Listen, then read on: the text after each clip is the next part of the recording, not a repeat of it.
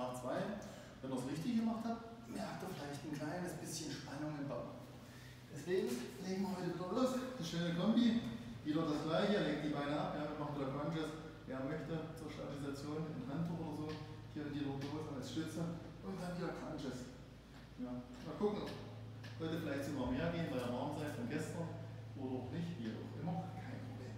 Wenn ihr bis zum Versagen kommt oder sagt, ich kriege den einfach nicht mehr hoch oder kriege die Spitzenkontraktion nicht dann Körper lang machen, durchatmen und klappt besser. Auch BZ haut bis nichts mehr geht. Dann kommt er hoch und eure Pause sind ganz normale Kniebeugen. Hier guckt ihr 5, 6, 7, 8, 9, 10. Ja, nicht übertreiben, sollte die Woche nicht so sehr am Oberschenkel brennen. Okay, wir konzentrieren uns auf den Bauch. Versucht hier wieder 5 Runden durchzuhalten,